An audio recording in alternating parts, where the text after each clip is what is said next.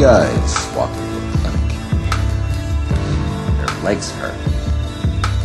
What's wrong?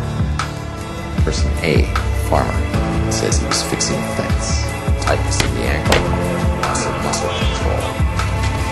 Person B, volleyball practice. Coach figured it was a pulled muscle. And C, Armin Electro.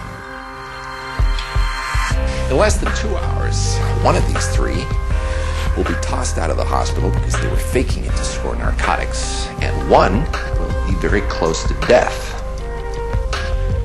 Any guesses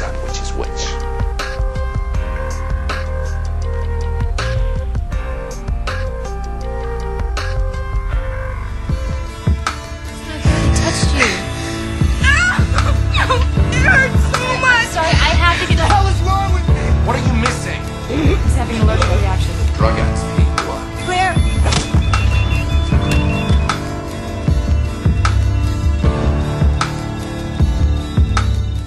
God, you were right. It's house.